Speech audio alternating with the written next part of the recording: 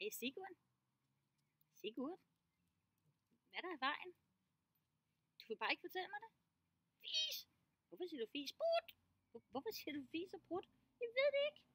Men du, du kan da ikke bare sidde og sige, at det er mig, du siger det til. Men hvorfor sidder du så og siger fis og brut? Fis. Hvorfor gør du det? Jeg ved det ikke. Jeg kan ikke gøre for det. Ej, det er da noget pjat. Jeg kan da selv bestemme, hvad jeg siger med min mund. Bestemmer dig selv. Min hjerne bestemmer det. Det er min ikke. Hvad mener du? Min mund siger det bare fis. Put. Så, så du kan ikke gøre for det? Nå, hvad, hvordan er det? Dum, dum, dum. Fis. Hvad mener du med det dumt? Ja, ja, hvad tror du selv? Ja, jeg kan godt se, det ikke er så sjovt, hvis man går og siger, er det altid grimme ord? Ja, fis og putter, tissemand og sådan noget. Øv. For du har ikke lyst til at sige det? Nej, selvfølgelig ikke. Det er dumt. Hmm. Hvad sker der så i, i, i skolen, når du siger sådan? Åh, hvad sker der? Det er ikke sjovt. Det er man så drillet. Hele tiden, Vibeke, hele tiden. Fordi så griner de, når jeg siger sådan nogle ord. Og så bliver de sure, når jeg siger dem igen. Og så, og så driller de mig hele tiden. Og, og så kommer vi op og slås og æv. Fis! Brut! Jeg kan godt se, det er slemt. Ja, dumt er det. Det er tiks, og det er dumt. Åh, oh, tiks. Det har jeg faktisk hørt om. Men er der ikke også noget med, har du ikke en tiks, hvor du sådan kigger til siden? Eller sådan? Ja, nu gør du det. Ja, fordi du snakker om det. I. Ja, ja undskyld.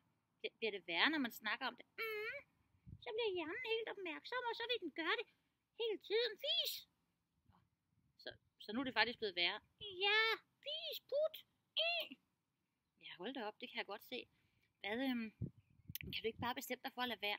Mm, nej, så havde jeg jo gjort det for længst. I.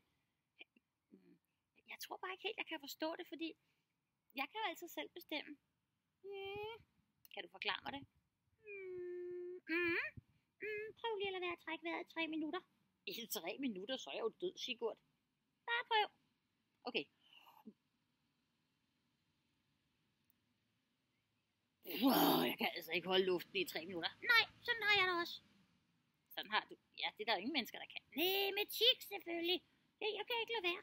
Jeg kan godt tænke og tænke og tænke på, at jeg vil lade være. Men det vil bare ud. Men du dør jo ikke, hvis ikke du laver tiks. Det føles næsten sådan. Hjernen tænker, du må ikke tikse, du må ikke tikse, du må ikke tikse, du må ikke tikse, og så tikser den. Mm, vis, put.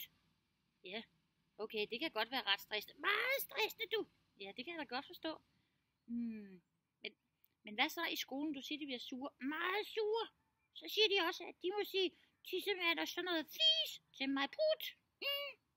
Og så bliver vi uvenner, for jeg gør det ikke med vilje. Og de gør det med vilje, Vibeke, det gør de. Ja, det kan jeg da godt forstå. Mm. Har du prøvet at forklare dem? Det er ligesom du forklarede mig med vejrtrækning. Nej, fis. Jeg prøver at lade være at snakke, for så siger jeg fis. Hver gang jeg bliver stresset. Og når jeg skal sige noget til hele klassen, fis, øh, så bliver jeg stresset. Det er jo ikke sjovt. Nej, det kan jeg da godt forstå.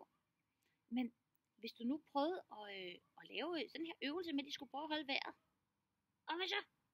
Ja, så skulle du fortælle dem, at sådan har du det også med dine ord. De kommer bare ud, ligesom de trækker vejret. Mm, det kan måske godt bruges, du. Ja, det kunne du måske. Og så kan du fortælle dem, at, at ligesom de ikke gør noget ondt, når de trækker vejret, så vil du heller ikke noget ondt, når du siger ordene fis. Ja, eller, eller de andre ord, du kan. Put. Ja. Tror du, de hopper på den? Ja, det passer jo, gør det ikke? Jo, det gør det. Jo. Hmm. Hvordan skal jeg fortælle dem det, synes du? Når jeg nu ikke vil sige noget foran klassen. Du kunne jo, øh, du kunne vise dem filmen. Filmen? Hvad for en film? Ja, den film, vi lige har optaget. Har du filmet mig? Åh, hvor er det vildt, mand. Hå, ja, det vil jeg gøre. Jeg vil vise dem filmen. Jamen, det synes jeg, du skulle.